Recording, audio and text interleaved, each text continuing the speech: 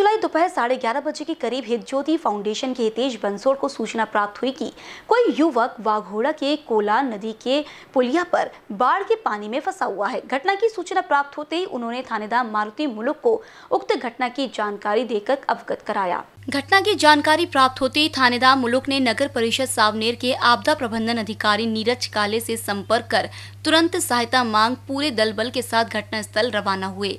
तब तक हित ज्योति फाउंडेशन के हितेश बंसोड़ और उनकी टीम घटनास्थल पहुंचकर स्थिति पर नज़र बनाए रखी। बाढ़ का बढ़ता पानी और तेज बहाव के कारण बचाव कार्यों में काफ़ी दिक्कतों का सामना करना पड़ता देख।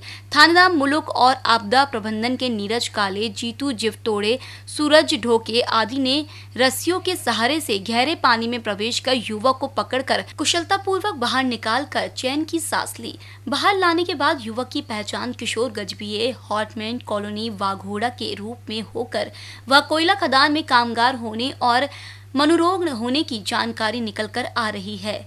उक्त घटना में एपीआई सतीश पाटिल, सुनील तलमले, आशीष कारेमोरे, राजू कड़ू, अनिल देशमुख आदि पुलिस कर्मियों ने भाग लिया।